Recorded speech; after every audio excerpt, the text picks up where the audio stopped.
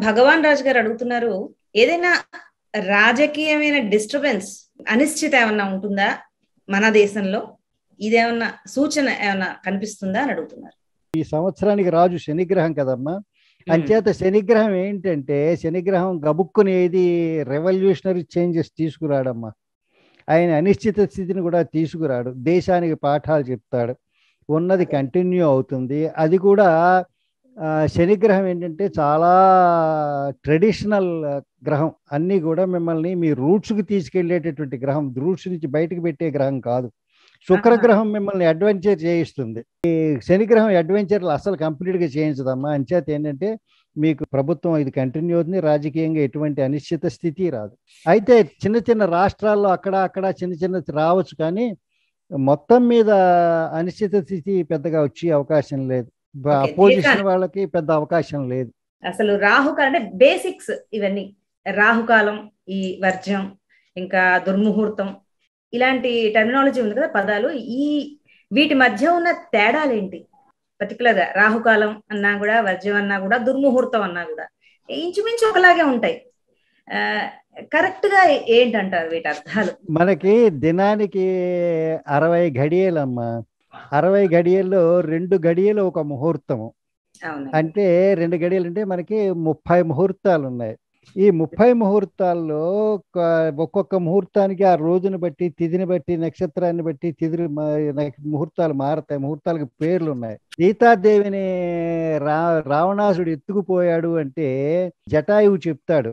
రావణాసుడు ఎత్తుకుపోయింది వింద ముహూర్తము ఆ వింద ముహూర్తంలో ఎత్తుకుపోయాడు కాబట్టి నీకు వెనక్కి తిరిగి వస్తుంది అని. ఆ ఒక్కొక్క ముహూర్తానికి ఒక్కొక్క పేరు ఉందమ్మా ముప్పై ముహూర్తాలకి ముప్పై పేర్లు ఉన్నాయి. ఈ ముహూర్తాలు మారుతూ ఉంటాయి. దినాన్ని బట్టి దాన్ని బట్టి ఇందులో అభిజిత్ ముహూర్తం మాత్రం ఎప్పుడు పన్నెండు ఒంటి గంట పదకొండున్నర నుంచి ఒంటి గంట దాకా మధ్యలో వస్తూ ఉంటుంది. రెండు రెండు గడియలు. ఆ ముహూర్తం మాత్రం స్టాండర్డ్ ఇది. నాలుగో లగ్నంలో వస్తుంది అభిజిత్. సూర్యోదయం నుంచి మిగిలిన అలా మారుతూ ఉంటాయి. ఇందులో కొన్ని ముహూర్తాలు చెడ్డవి. వాటిని దుర్ముహూర్తం అంటారు. అందుకే ఒక్కో రోజు దుర్ముహూర్తాలు రెండు ఉంటాయి.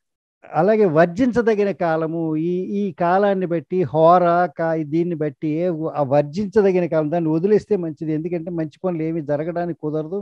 ఆ కాలంలో ఏమి చెయ్యకూడదు. అది వర్జ్యం. దుర్ముహూర్తంలో చేసింది మీకు పని చెడుతుంది. దుర్ముహూర్తంలో చేయకూడదని లేదు కానీ పని చెడుతుంది. వర్జ్యం కాలంలో చేస్తే వ్యతిరేక ఫలితాన్ని ఇస్తుంది.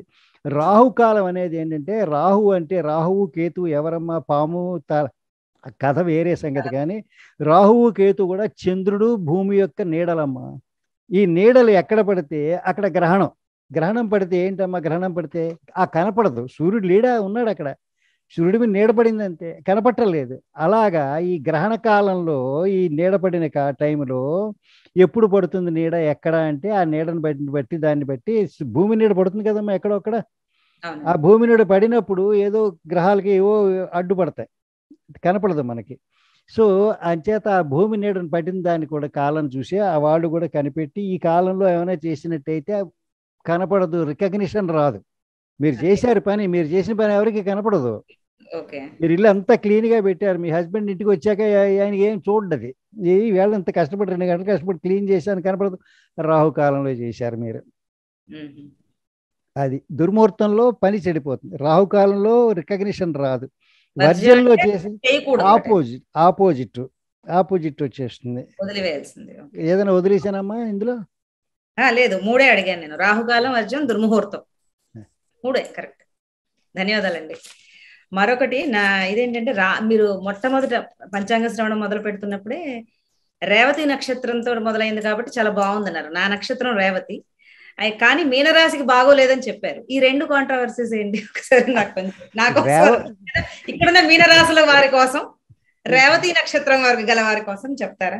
రేవతి నక్షత్రం ఉన్న వాళ్ళది స్వభావం మృదువుగా ఉంటుంది. వాళ్ళని అందరూ లైక్ చేస్తారు. అందరూ కూడా మంచివారు వీరు అని చెప్పుకుంటారు.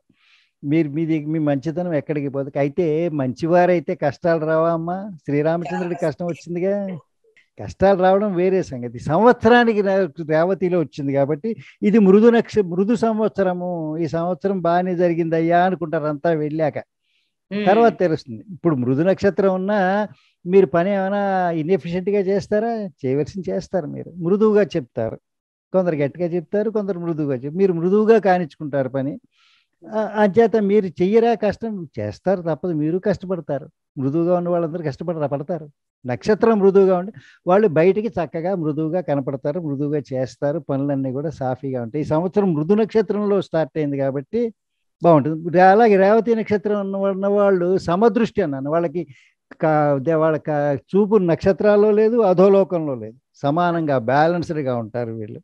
మీనరాశికి మరి బాగోలేని మాట వాస్తవమే. ఒక ఆరు నెలలు మీకు శనిగ్రహం విధిస్తోంది. నా భార్యది కూడా మీనరాశే. చేత మీకు అన్నిటికీ కూడా వీటికి చెప్పింది ఏంటంటేనమ్మా ఇది రోడ్డు మీద గతుకులు ఉంటాయా ఉండవా అని. మీ రోడ్డు ఎలాంటి రోడ్డు? అది మీ జాతకంలో ఉంటుంది. మీరు పూణే బాంబే హైవేలో పెడుతున్నారు అనుకోండి అమ్మా అక్కడ మీరు గతుకులు అంటే కొద్దిగా మీకు తెలియని కూడా తెలియదు. కారులో పెడుతుంటే. స్కూటర్లో పెడుతుంటే కొద్దిగా తెలియచ్చు. నడిచెడుతుంటే అది తెలియదు.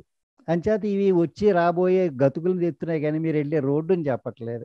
అంచేత మీనరాశి వారికి ఈ కాలం గ్రహాలు కలిసి రావట్లేదు కాబట్టి దీనివల్ల ఏం కాదమ్మా.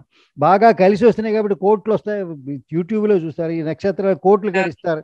గడించకపోతే నేను వదిలేస్తాను అది వాళ్ళ జాతకాన్ని బట్టి ఉంటుందమ్మా. ఇది ఊరికే టెంపరీగా మనం వెళ్ళే దాంట్లో ఎలా ఉంటుంది? అంతకుమించి ఏం లేదు. మీ జాతకం మీ దశ అంత ప్రత్యంతర దశ వాటి మీద ఆధారపడి ఉంటుంది. దీని గురించి వర్రీ అవ్వకండి. అయితే ఏంటంటేనమ్మా ఈ దీనికి కూడా మీకు అన్నిటికీ పరిహారాలు ఉన్నాయి. పరిహారం ఏంటంటేనమ్మా మీరు చేయవలసినటువంటి స్వధర్మాన్ని సరిగా చేసినట్టయితే అంతకుమించి ఇంకేం లేదు. మీరు మీ భర్త మాట వింటూ చేసినట్టయితే ఇంక మిమ్మల్ని అడిగి అడిగి వాళ్ళు రోజు పొద్దున్నే దీపం పెట్టుకోండి స్నానం చేయండి శౌచం పాటించండి. ఇది భా స్త్రీలకు చెప్పింది. మీరు శౌచం పాటిస్తూ పొద్దున్న స్నానం చేసి దీపం పెట్టుకుంటూ మీ భర్త మాట వింటూ మీకేం కాదు. ఇప్పుడు చంద్ర గారు ఉన్నారు ఆయన రోజు పొద్దున్నే గాయత్రి జపం చేసి చదువుకోవాల్సిన సూక్తాలు చదువుకుంటే ఆయనకి ఏం అడ్డు లేదు. అంచేత ఇది ఊరికే చెప్పాను కదమ్మా అందుకే ముందే చెప్పింది ఇది రోడ్డు మ్యాప్ కాదు ఇది. మీరు వెళ్ళి రోడ్డు ఎలా ఉంటుంది? చాలా బాగుంది.